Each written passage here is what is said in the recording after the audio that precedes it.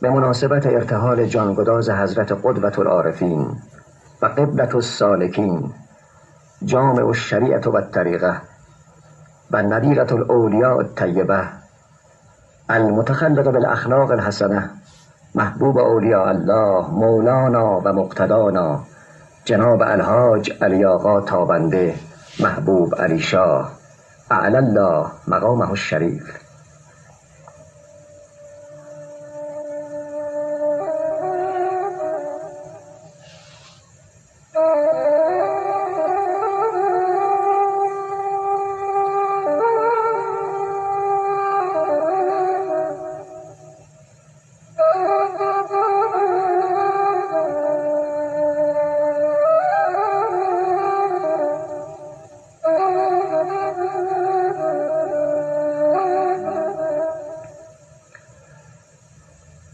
قطب زمان عارف سبحانی رفت. ساقی علم لدن عالم ربانی رفت.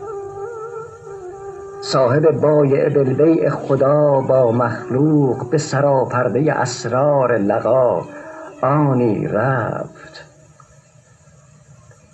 ره اسرار قل روح به جان می پیمود چون ندا کرد به آن عالم روحانی رفت.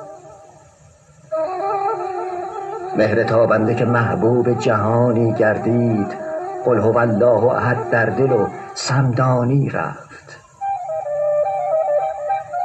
آستینش ید بیضاء همه جان ها بود چشم عشاق شناسد که چه جانانی رفت. رمضان ماه خدا بود و ضیافت با دوست. او علی بود و علی وار به مهمانی رفت. ظلم هایی چو کشید از خودی و بیگانه شاه مظلوم از این عالم ظلمانی رفت. دیدگان همه چون دیده یعقوب سفید یوسف ثانی از این قالب جسمانی رفت. حیف آن سرو خرامان و قد موزونش حسن خالق بده در صورت انسانی رفت. چه کسی قادر آر است که تشریح کند عطر کل چون صلواتی که تو می‌خوانی رفت؟ ز اولیا بود نبیره فقرا قبله دل با رضا در حرم صالح سلطانی رفت. کرد ایجاد یکی گوهر نوروب صدف تا زجاجه بشناسید بدین ثانی رفت.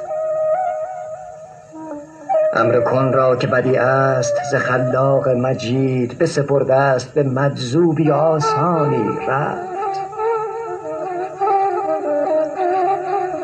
الف و چهارصد چو بشد هفده سال قمری.